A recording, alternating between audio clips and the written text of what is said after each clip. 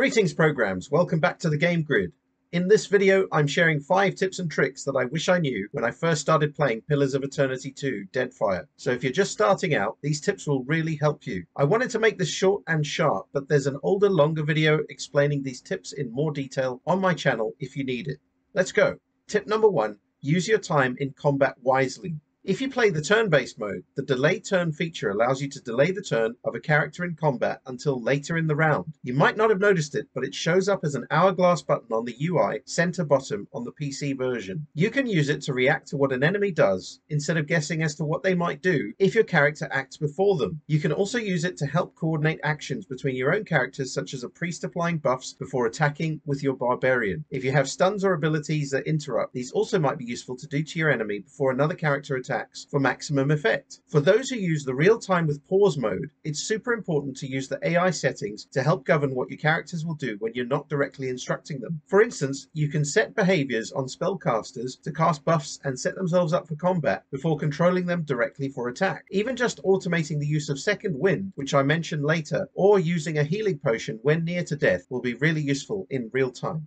Tip number two, empower.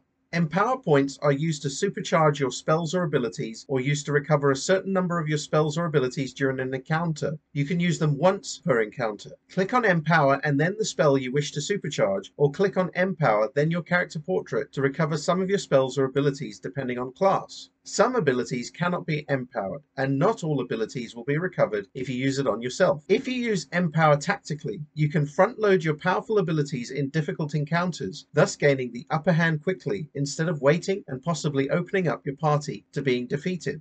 Tip number three, use interrupts. Interrupting enemies is vital in Deadfire because some spells or abilities that they use need to be invoked over time, and usually these effects are very strong. If you can interrupt them, they'll lose that effect, and this could turn the tide of combat in your favor. Use crossbows which have an interrupt effect, spells that specifically interrupt, or abilities that knock an opponent prone, for example. Concentration protects one from interrupts, and as you progress through Deadfire, you'll find stronger enemies who are able to avoid being interrupted due to their higher concentration value. This is why it's important to have multiple characters who can interrupt so that you can overcome the enemy's concentration value. Conversely, it makes a lot of sense to stack concentration on your own spellcasters who need time to invoke powerful spells. Items, abilities, or spells can help with this. Tip number four, free actions.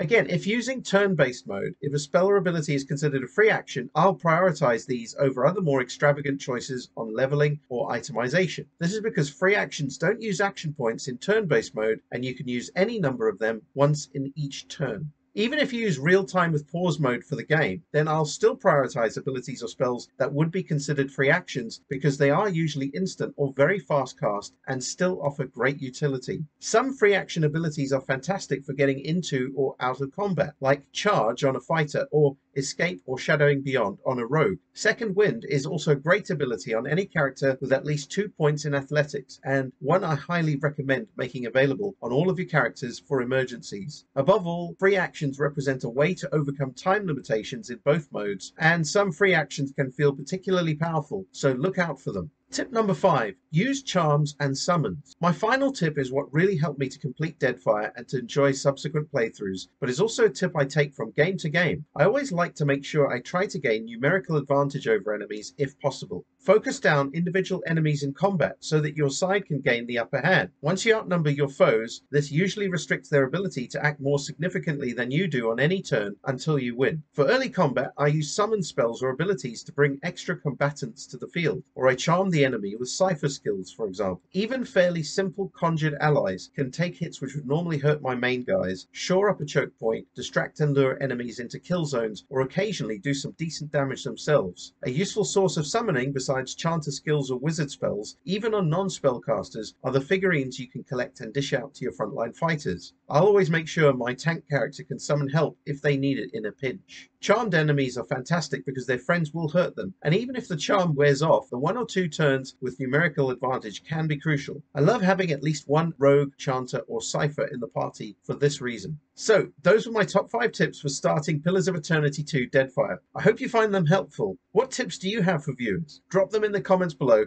and thanks for watching.